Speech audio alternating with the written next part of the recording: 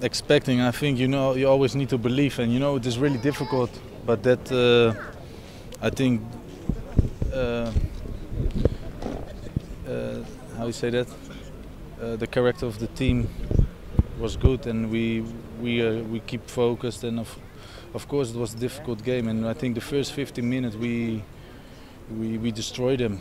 But yeah, then they get a we get a cheap goal against us and it turns a little bit. But then the second half, we come together, and uh, the, the, the coaches and everybody keep believing in us. And then we uh, went in the catacomb and we said, uh, guys, look like it is 0-0.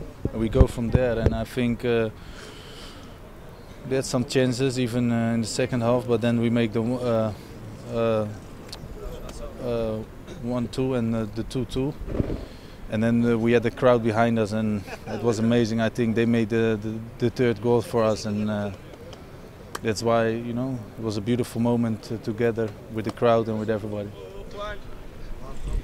είναι λίγο παράξενη, το παράξενο το συνέστημα, ήταν λίγο δύσκολο να πιστέψουμε. Το βασικό ήταν να πιστέψουμε ακριβώς ε, αυτήν την ε, αλλαγή, αλλά δείξαμε ότι έχουμε μια δυνατή ομάδα με έναν καλό χαρακτήρα, παίξαμε όλοι συγκεντρωμένοι.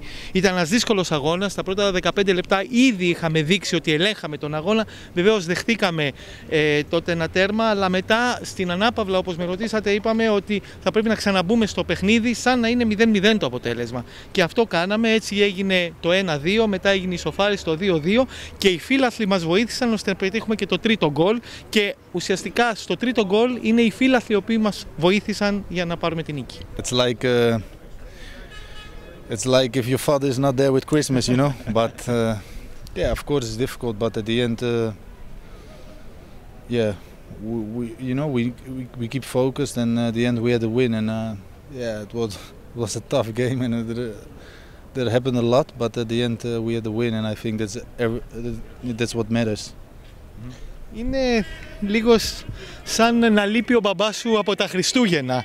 Αλλά θα έλεγα ότι το βασικό ήταν να παραμείνουμε συγκεντρωμένοι, μείναμε συγκεντρωμένοι, ήταν δύσκολο το παιχνίδι και ε, το βασικό, το παν ήταν να κερδίσουμε. Και κερδίσαμε.